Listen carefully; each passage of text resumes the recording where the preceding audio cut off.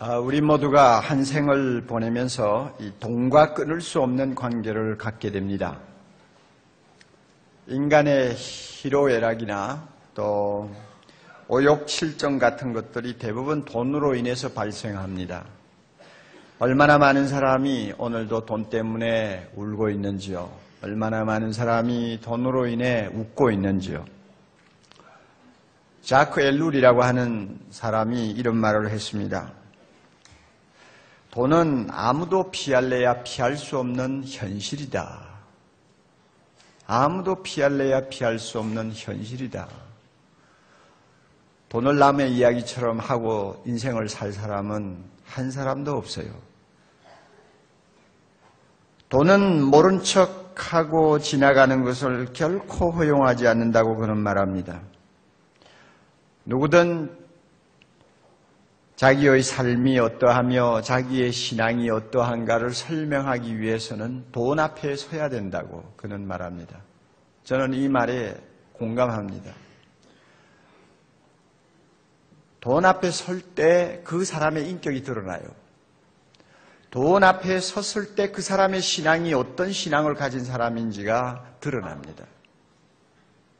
그러므로 돈이라는 것은 우리를 시험대에 올려놓는 무엇이라고 말을 할 수가 있습니다.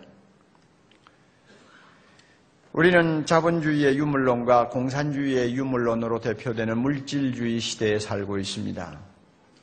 존 화이트라고 하는 사람의 견해를 그대로 빌린다면 공산주의의 유물론은 돈이 돈만이 유일한 존재라고 주장을 하고 한편 자본주의 유물론은 돈만이 중요하다고 주장한다고 합니다. 그러니 돈만이 존재한다고 주장하는 공산주의나 돈만이 중요하다고 하는 자본주의가 말의 표현을 가지고는 좀 차이가 있을지 모르지만 그 밑바닥에 유물론을 깔고 있고 물질주의를 깔고 있다는 면에서는 동일한 것입니다. 그래서 사람들은 돈을 손에 넣고자 끝없는 탐욕 속으로 빠져들고 있습니다. 대부분이 돈을 어떻게 생각합니까? 나의 인생을 행복하게 만드는 확실한 수단으로 생각을 합니다. 힘을 과시할 수 있는 높은 깃발로 그들은 생각을 합니다. 또 안전을 지켜주는 확실한 방패막이로 그들은 믿습니다. 더 나아가서는 나의 생명도 나의 건강까지도 보장해 줄 수 있는 절대적인 존재로 사람들은 돈을 생각합니다. 이렇게 돈을 높이니까 자연히 돈의 횡포가 심해질 수밖에 없습니다. 돈은 자기도 모르는 사이에 우리 인간을 지배하는 폭군으로 화했습니다. 얼마나 그 세력이 무서운지요. 돈의 힘 앞에 국가도 무릎을 꿇고 마는 것을 우리는 봅니다. 돈의 위세 앞에서는 법도 제 기능을 발휘하지 못하는 것을 우리는 날마다 날마다 보고 삽니다. 심지어 돈 앞에서 교회마저 무릎을 꿇는 비참한 현실을 우리가 지켜보고 삽니다. 돈이라고 말할 때는 단지 경제적인 가치나 화폐의 가치로만 이야기를 하면 안 됩니다. 이미 화폐의 가치라고 하는 영역을 뛰어넘은 지가 오래입니다. 이미 월권 행사를 한 지가 오래입니다. 돈은 우리의 정신계까지 지배를 합니다. 심지어 우리의 가치관까지 마음대로 뒤집어 놓습니다. 우리의 전 인격을 파괴하고도 남을 수 있고 이 세계의 도덕성을 완전히 무너뜨릴 수 있는 막강한 힘을 가진 세력으로 지금 돈은 우리 앞에 서 있습니다. 돈이 갖는 이런 위력에 대해서 칼막스는 아주 묘한 말을 했어요. 나는 못생긴 사람인데, 그러나 세상에서 가장 아름다운 여인을 돈으로 살 수 있다. 그러므로 나는 못생긴 사람이 아니다. 하는 말을 했어요. 묘한 소리예요. 돈이면 못생긴 사람도 잘생긴 사람으로 둔갑할 수 있다는 이야기입니다. 그리고 그는 말했어요. 돈은 최고의 선이다. 아마 이런 사상 때문에 공산주의가 그 머리에서 나왔다고 생각합니다. 돈은 최고의 선이다. 인간이 동경하는 모든 것을 돈을 통해서 가질 수가 있다고 했습니다. 그래서 돈을 갖고 싶어 하는 욕망은 끝도 없고 한도 없다고 그는 말하면서 또 참 재밌는 말을 한마디 했어요. 흐르는 돈은 인간 내면의 저수지에서 결코 넘치는 법이 없다. 이런 말을 했는데 여러분 한번 잘 사겨 들어보세요. 흐르는 돈은 인간 내면의 저수지에서 결코 흘러 넘치는 법이 없다. 아무리 끌어모아도 차지 않는다는 이야기입니다. 그만큼 사람은 돈에 대한 탐욕이 대단하다는 거예요. 그러므로 돈이 최고다. 돈만 있으면 된다. 이게 유물사관의 뿌리 아닙니까? 하나님이 뭐냐? 돈이 하나님이다. 이렇게 주장하는 것이 유물사관 아니에요? 이와 같은 사상에 한동안 전 세계 인구의 2분의 1 이상이 놀아났다고 생각하면 돈의 힘을 우리가 가히 짐작할 수 있다고 생각합니다. 예수님은 이러한 인간과 돈에 밀접한 관계를 깨뚫러 보신 것이 사실입니다. 오늘 우리가 읽은 본문 보면 금방 알 수가 있어요. 사람에게 돈이 뭐냐? 보물이다. 그래서 주님이 돈이라고 말씀하지 않고 네 보물을 땅에 쌓지 말라. 보물이라고 그러잖아요. 처음에는 보물이라고 하시다가 24절에 가면 돈으로 바뀌어요. 만몬이라고 하는 돈신으로 바뀌어요. 그러니까 결국 예수님이 하시는 그 말씀은 보물이라고 할 때는 돈을 가리키는 것입니다.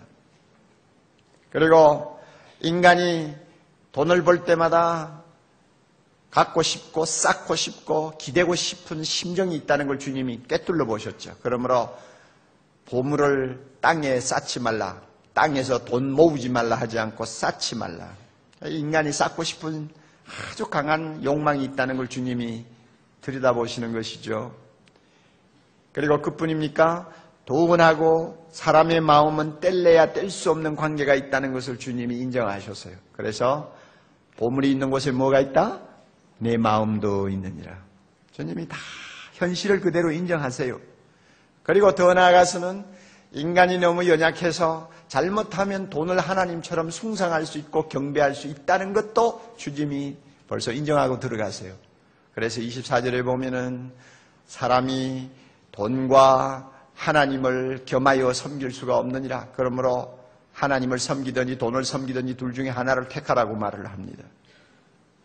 우리 주님이 이 돈하고 인간, 인간하고 돈하고의 이 참 끊을 수 없는 관계를 이렇게 환히 들여다보시면서 말씀을 하세요.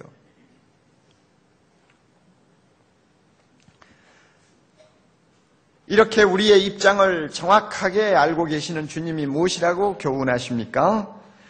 우리에게 그처럼 소중한 보물이라면, 보물이라면 안전한 데다가 쌓아둬야지 허술한 데다가 쌓아두면 되겠냐 하고 말씀하는 것입니다. 땅에다가 쌓지 말라. 거기는 허술하다.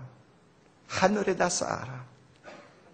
주님이 하시는 말씀 우리는 기담아 들어야 합니다. 땅에다 쌓아놓으면 금방 축이 나고 없어지고 나중에는 손에 남는 것이 없게 될 수도 있다는 것입니다. 그러나 하늘에다 쌓으면 안전해서 영원히 영원히 보관할 수가 있고 영원히 그 보물을 가지고 즐길 수 있다고 하는 이야기입니다.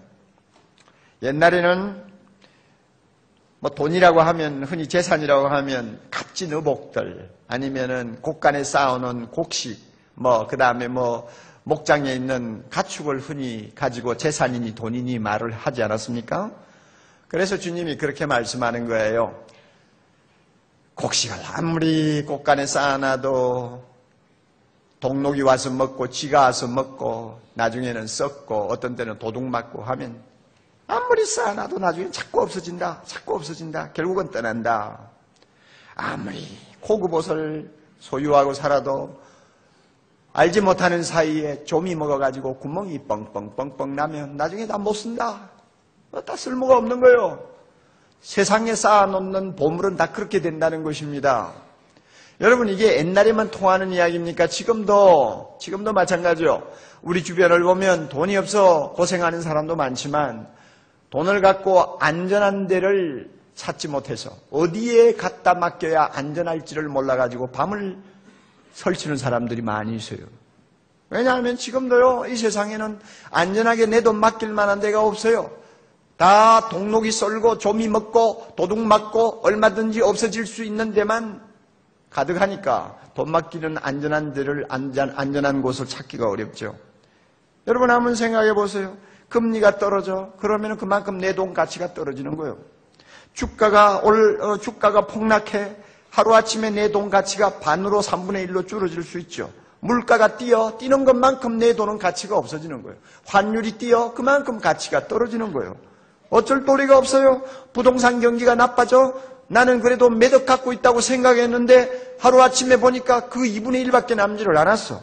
그렇잖아요. 믿고 묻지마 하고 벤처에 맡겼더니 전부 다 날아가 버리고 없어. 다 그래요. 세상에 창고는 다 좀이 쓸고 동록이, 동록이 쏘고 도둑이 들어오는 거예요.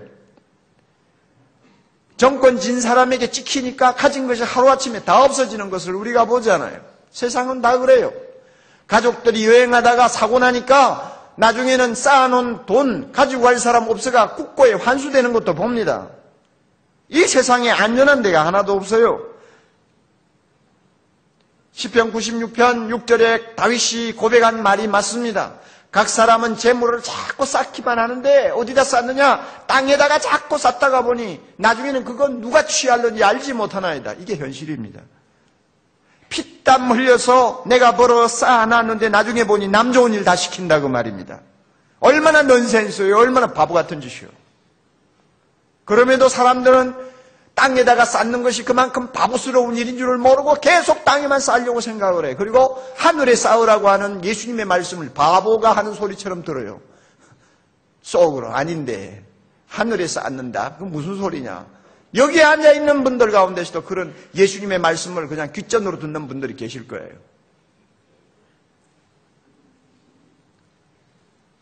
그래서 하나님 하나님은 말씀합니다. 돈이 너희들에게 그만큼 보물처럼 소중하냐 그러면 하늘에다 쌓아라. 거기가 안전하니라. 우리 20절 같이 읽습니다. 오직 너희를 위하여 보물을 하늘에 쌓아두라. 거기는 좀이나 동록이나 동록이 해야지 못하며 도적이 구멍을 뚫지도 못하고 도적질 못하느니라. 내 보물이 있는 곳에 그곳에는 내 마음도 있느니라. 하나님의 말씀이에요. 하늘 곳간은 안전해서 좋고 내 마음이 하늘에가 있을 수 있어서 좋고 그리고 그렇게 하는 것이 하나님을 위한 거 아니에요. 나를 위해서요. 너희를 위하여. 하나님이 무슨 뭐 돈이 욕심이 나가지고 하늘 곳간 자기 은행에다 넣으라고 그러나요? 그게 아니에요.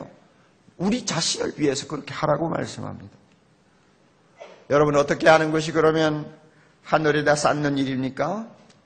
우리가 하늘에다 쌓아야 돼요. 돈은 너무너무 소중한 거예요. 내가 새벽부터 저녁까지 땀 흘리고 눈물 흘려 버는 것이 돈 아니요. 직장을 구하려고 열 곳, 스무 곳, 스무 곳, 백 곳에다 이력서 넣어가지고 겨우 직장 얻으면은 그저 거기에 충성하느라고 우리가 얼마나 정성을 쏟습니까? 그래가 번 돈이요. 이 보물이죠. 보물이요. 이 소중한 거 아무데나 갖다 맡겨놓으면 안 되죠. 안전한 데다 맡겨야죠. 그렇게 하기 위해서는 중요한 거 있어요. 우리의 마음의 눈이 어두워지지 않도록 우리가 주의해야 합니다. 마음의 눈이 어두워지면 안 돼요. 여러분 예수님께서 보물을 하늘에 쌓으라고 해놓고는 왜 갑자기 22절에 눈 이야기를 하시는 거예요? 눈은 몸의 등불이다. 그러므로 내 눈이 성하면 온몸이 밝을 것이요. 내 눈이 어두우면 온몸이 어두울 것이다. 왜 갑자기 동문서답 하던, 하듯이 이런 말씀을 합니까? 여러분, 돈은 사람을, 사람의 눈을 어둡게 하는 아주 특성을 갖고 있어요. 돈의 눈이 어두워질 수 있다는 것을 여러분이 아세요? 주님이 이걸 경고하는 것입니다. 하늘의 보물을 쌓기를 원하는 사람은 돈 때문에 눈이 흐려지거나 어두워지면 안 되는 거예요. 눈이 흐려지면 우리의 영혼의 눈이 어두워지면 하나님과 돈을 혼돈하게 돼요. 하나님은 하나님으로 보아야 될 거 아니에요? 돈은 돈으로 보아야죠. 그런데 눈이 흐려지면 하나님을 돈처럼 보고 돈을 하나님처럼 보게 되는 난시 현상이 일어나는 것입니다.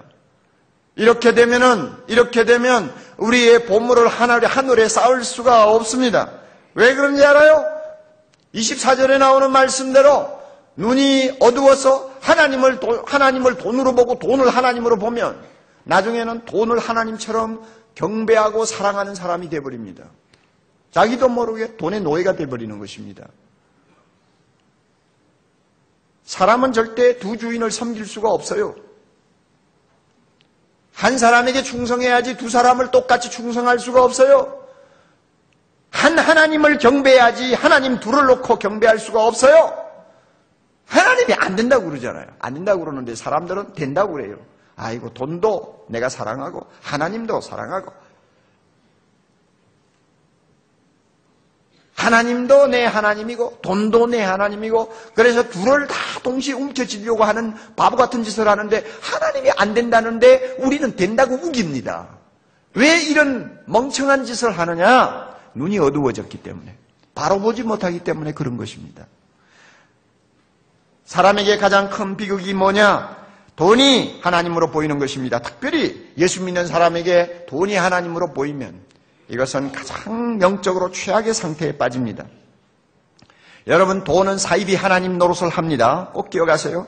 이 점에 대해서는 칼막스만큼 해안의 눈을 가지고 정확하게 깨뚫려 본 사람이 역사에 또 있는지 모르겠어요. 돈은 하나님이에요. 돈은 전능한 하나님처럼 행세해야 합니다. 보세요. 여러분 돈 사랑하는 사람 치고 입에서 똑같은 말 나오는 거 들어보죠? 돈이면 다 다 된다. 돈 가지고 안 되는 것 있더냐? 돈 가지고 안 되는 거 있냐? 돈 가지고 문제 해결 안 되는 거 있냐? 돈이면 다 통해. 자기도 모르게 그런 소리를, 그런 신앙 고백을 합니다. 이 말은 뭐냐? 돈은 전능한 하나님이라는 고백인 거예요. 돈은 우리를 그런 식으로 만들어요. 돈은 거룩한 하나님처럼 행세해야 합니다. 거룩한 것처럼 행세해요. 그래서 우리, 우리가 세상을 살면서 가끔 보지 않습니까? 돈 소리는 아무 데서나 함부로 못합니다. 그리고 돈 문제를 가지고 장난처럼 말을 못합니다. 돈은 거룩하니까. 어느 자석에서든지 다른 많은 이야기를 하다가 돈 소리만 갑자기 나오면 아주 숙연해집니다. 거룩하니까. 그래서 오늘 제가 이거 돈 설교를 하고 있잖아요. 그래서 여러분 얼굴이 얼마나 거룩해 보이는지 몰라요. 아주 긴장하고만 굳은 얼굴로 듣고 있거든요. 이 돈이 거룩하다는 이야기입니다.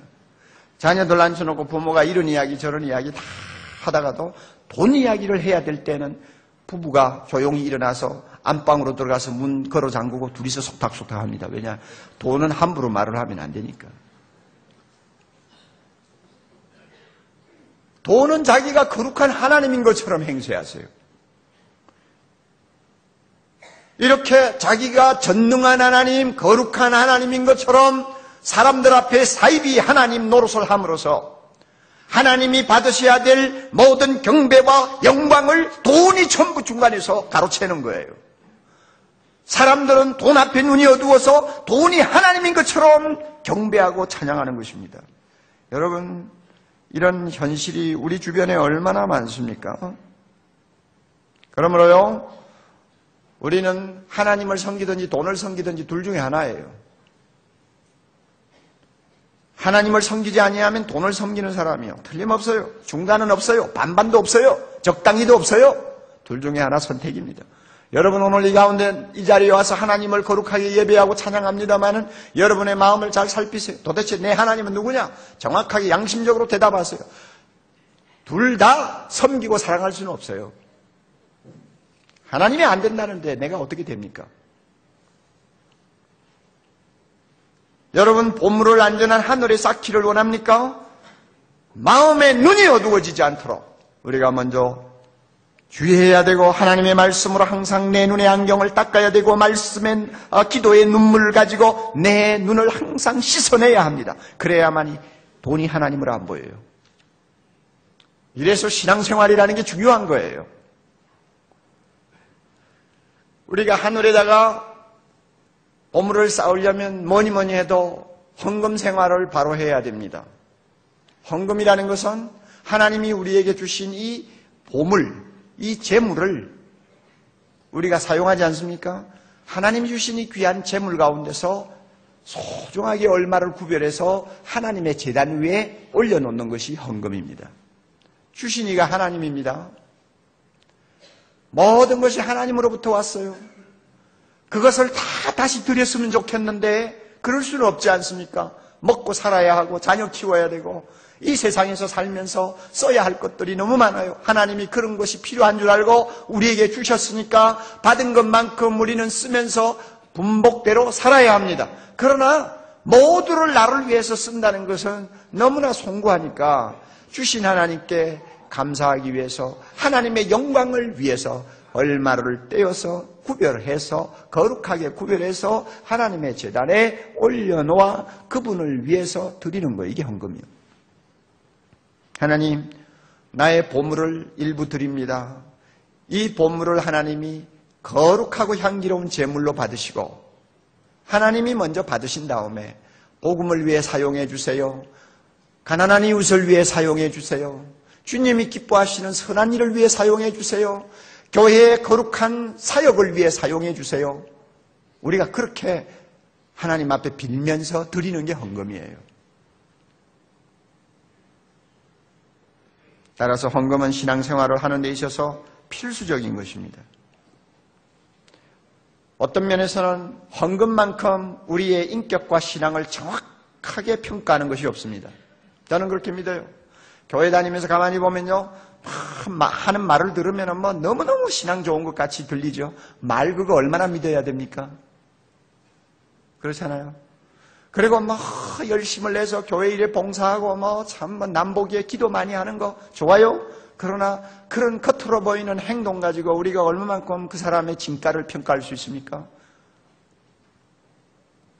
확실한 평가가 어려워요. 그러나 하나 분명한 평가가 있어요. 그것이 뭐냐 하면 헌금 앞에 서는 것입니다. 돈 앞에 서는 거예요. 헌금은 우리를 시험대에 올려놓습니다. 헌금하는 것 보면 그 사람의 신앙이 어느 정도의 신앙이라는 것을 금방 압니다. 속일 수가 없어요. 그래서 어떤 사람의 말처럼 헌금이야말로 우리가 어떤 신앙을 가진 사람인가를 과학적으로 명확하게 밝혀준다고 했습니다. 그래요. 수학적으로 정확하게 밝혀준다고 했어요. 돈 앞에는 못 속여요. 돈 앞에는 못 속인다니까요.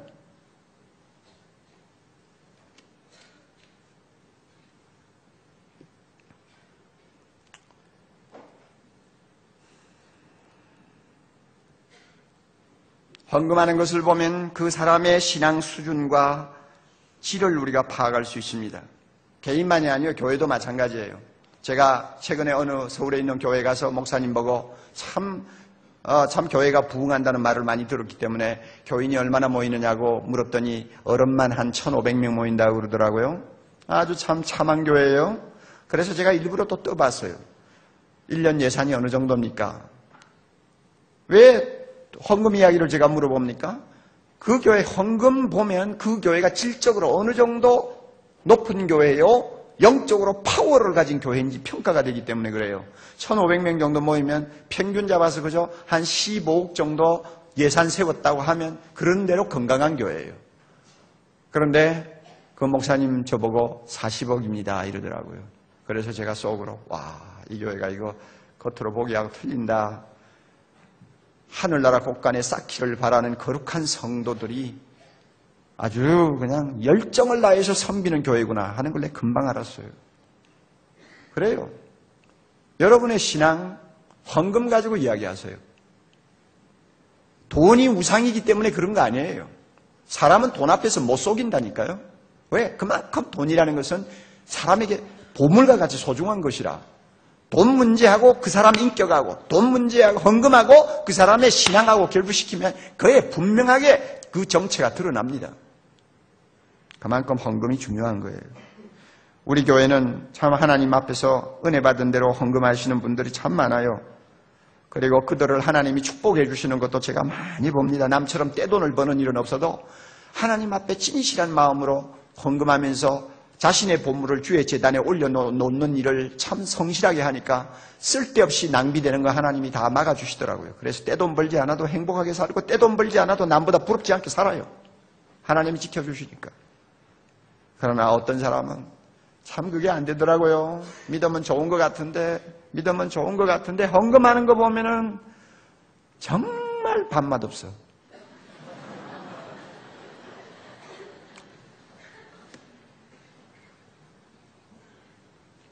저는 이런 분은 거듭나야 된다고 생각을 합니다. 왜냐하면 그 마음에 돈이 하나님이 돼 있어요. 절대 그 사람, 그 믿음 신뢰할 수가 없습니다. 예수님이 그렇게 하셨어요. 어떤 부자 청년이 와서 예수님에게 내가 어떻게 하면 구원받을 수 있습니까? 그 청년은 분명히 구원에 대해 관심이 있어요. 그러나 예수님이 딱 볼 때 그 청년의 우상은, 그 청년의 하나님은 돈이에요. 자기 집에 있는 재산이에요. 그 문제, 재산 문제를 해결 안 하면 구원받을 수 없는 사람이에요. 왜냐하면 돈과 하나님을 동시에 섬길 수는 없으니까. 그래서 주님이 양자택일을 요청했습니다. 너 재산 다 팔아가 가난한 자 주고 완전히 포기하라. 그리고 와서 나의 제자가 되라. 그러면 너는 구원을 얻을 것이다. 그랬습니다. 그러나 그 청년은 구원과 돈을 놓고 결국은 돈을 택하고 말았습니다. 돈을 택하고 말았어요. 왜? 돈이 그에게 우상이니까. 그는 재산을 포기할 수 없어서 슬픈 얼굴로 다시 집으로 돌아갔다고 했는데 돌아가는 그의 모습을 보고 주님이 하신 유명한 말씀이 있어요. 애들아, 부자가 구원받기가 얼마나 어려운 줄 아느냐. 약대가 바늘길을 끼고 들어가는 것보다 어렵다. 아시겠어요? 여러분 신앙생활 한다고 하면서 말이죠. 자기는 많이 쌓아놓고 사는데 헌금은 너무너무 인색하신 분. 여러분 주님께서 여러분에게 양자택일을 요청할 겁니다. 둘 중에 하나를 택해라. 그렇다면 여러분 재산을 택하겠어요? 하나님을 택하겠어요? 여러분 양심을 양심을 가지고 물어보아야 합니다. 만약에 그 문제가 해결 안 돼 가지고 적당히 교회만 왔다 갔다 하면 여러분 하나님 나라 들어간다고 하는 보장 아무도 못 합니다. 왜? 세상에 있으면서 돈을 하나님으로 섬기는 사람이 천국 가면 편안해서 살겠어요? 불편해서 살겠어요? 못 살아요, 절대. 그런 사람이 들어갈 수가 없고요, 또. 그러므로 여러분의 헌금을 잘 좀 살펴보세요. 예수님의 말씀이 절대 빈말이 아닙니다. 헌금 가운데서 많은 사람들이 어려움을 느끼는 것이 11조입니다. 사실 11조라는 것은 하나님의 것을 드리는 것입니다만은 믿음이 어느 정도 자라지 아니하면 참 어렵습니다. 10만 원 중에 만 원을 떼는 것은 가능할지 몰라요. 그러나 천만 원에서 백만 원의 11조를 떼서 하나님 앞에 기꺼이 드리는 것은 그만한 믿음이 있을 때 가능한 거예요. 부자가 11조 내기가 더 어려워요. 사랑의 교회에서 11조 제일 많이 낸 분, 몇 분을 제가 알고 있는데 1억을 내는 것을 제가 몇 번 보았어요. 그러면 뭘 부동산을 팔았는지 어쩌는지 모르지만 한 10억 중에 1억을 하나님의 것으로 바치는 거 아닙니까? 하나님의 곳간에 드리는 거 아닙니까? 상당한 수준의 믿음 없이는 안 되는 일이에요. 그러므로 헌금이 그 사람의 신앙을 대변한다니까요.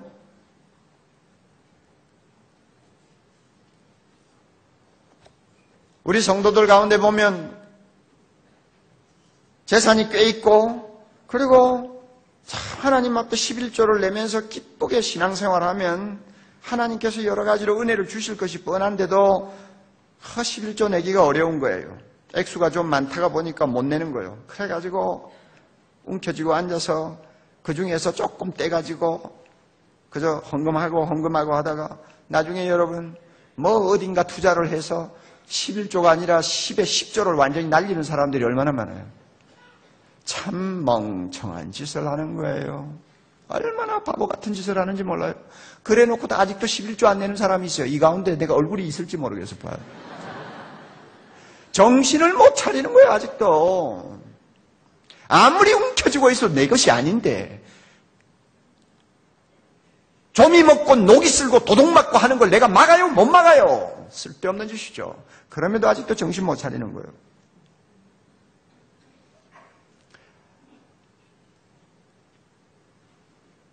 군인들 중에서 낙하산 타는 특전대원이라고 있습니다. 비행기에서 낙하산 타고 뛰어내리는 사람들이니까 굉장히 낭만적이죠. 쳐다보면 나도 저래 봤으면 좋겠다 하고 참 생각이 들 때가 많이 있잖아요. 최근에는 아버지와 딸이 특전 부대에 들어가서 같이 낙하산을 타가지고 어, 신문에서 화제가 된 일도 있습니다. 그런데 이 비행기에서 낙하산을 타고 그냥 훌렁 몸을 던지는 거, 그거 쉬운 거 아니죠. 쉬운 거 아니죠. 그러니 그렇게 되기까지는 지상에서 뭐 피눈물 나는 훈련을 해야 합니다. 사람이 제일 이 공포를 느끼는 높이가 11m라고 합니다. 그래서 특전대원들을 훈련시키는 곳에는 10m 어, 그 점프대가 있습니다. 그래서 10m짜리 점프대 그 위에 딱 서는 거예요. 서면 눈높이가 11m가 되는 것입니다. 내려다 보면 아찔하죠. 거기서 그냥 계속 뛰어내리는 것입니다. 무섭지 아니할 때까지 뛰어내리는 거예요. 10m 점프대가 두렵지 않고 마음대로 뛰어내릴 수 있으면 그 다음에는 비행기에서도 뛰어내립니다. 왜냐하면 그 이상 아무리 높아도 무섭기는 똑같은 높이니까 어디든지 뛰어내리는 거예요.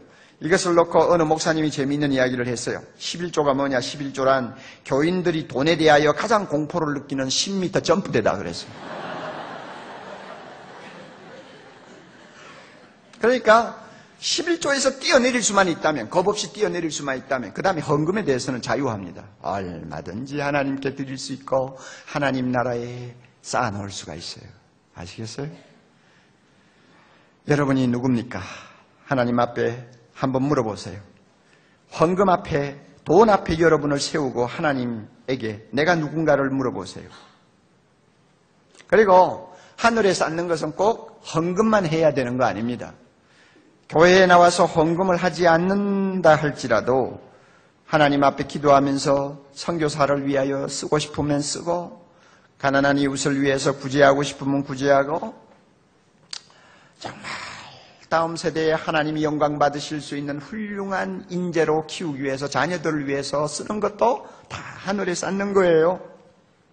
그리고 예수 믿는 집안으로서 참 사람들에게 존경을 받고 인간답게 살기 위해서 참 집안 살림을 제대로 꾸리느라고 돈 쓰는 것도 다 하늘나라에 쌓는 거예요. 장애인 주일이니까 한마디 합시다. 여러분, 얼마 전에 프로야구 서울 개막전에 와서 시구를 던진 9살짜리 애덤 킹이라고 하는 그 소년을 여러분이 보았을 것입니다. 티타늄 인조 다리를 끌고 기우뚱기우뚱 하면서 시구를 하는 그 아이의 모습을 봤죠. 얼마나 맑고 참 티없고 명랑한지요. 어떻게 자기 부모 밑에서 자라도 저렇게 못 자랄 텐데 입양된 아이로서 어떻게 저렇게 자랄 수 있을까? 결국은 그를 입양해서 키운 그의 아버지 에덤 킹과 그의 어머니를 생각하지 아니할 수가 없어요. 아홉 명이 되는 장애야 또 자폐아를 입양해가지고 자기 자식하고 같이 키우면서 어떻게 저렇게 키울 수가 있었나? 그 사람은 컴퓨터 기능사라 1년에 그냥 8, 9만 불 수입이니까 고소득이죠. 자기 혼자 행복하게 살고 싶으면 얼마든지 살 수 있잖아요. 무엇 때문에 그렇게 힘든 길을 걸어갑니까? 그럼에도 불구하고 세상에서 버림받은 그 장애 아이들, 고아들을 데려다가 입양해서 사람답게 신앙으로 키우는 거예요. 여러분 이게 뭡니까? 하늘나라에 쌓는 거예요. 하늘에다가 가장 귀중한 보물을 쌓는 것입니다.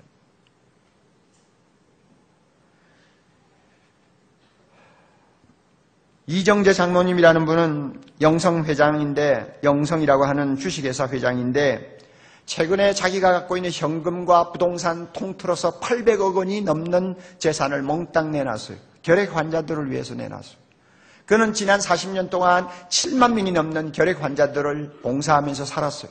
그러나 이제 인생 마무리 정리할 때가 되어가는 나이에 자기가 갖고 있는 것을 좀 더 하나님 나라에다가 쌓아놓기 위해서 다 내놨어요. 다 출자해가지고, 다 출자해가지고 사랑의 보금자리라고 하는 복지재단에 기증을 해버렸어요.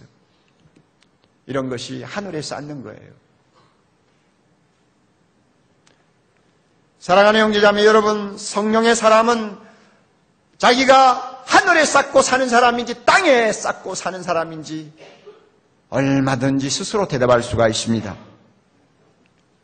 헌금은 남부그렇게 하면서 세상 즐기느라고 정신없이 돈을 쓰는 사람 하늘에 쌓는, 쌓는다는 소리 하지 마세요. 11조 내지 않고 자기 욕심에 끌려가지고 그저 모으는 데만 혈안이 된 사람 절대 하늘에 쌓는 사람 아니에요. 가난한 이웃이 울고 있는 모습을 보면서도 나 몰라라 하고는 제, 제, 제, 사, 저, 제 자식밖에 몰라. 그냥 제 자식 잘 먹이고 잘 입히고 제 자식 그저, 그저 편안하게 뭐 기쁘게 살도록 하는 데다가 돈을 그냥 집어넣는 일에만 정신없는 사람. 아무리 새벽 기도 나와서 기도 많이 한다고 해도 그는 하늘에다가 자기 보물을 쌓는 사람이 아니에요. 돈 앞에 서서 자기 신앙 양심을 가지고 물어야 합니다. 내가 누구인가를.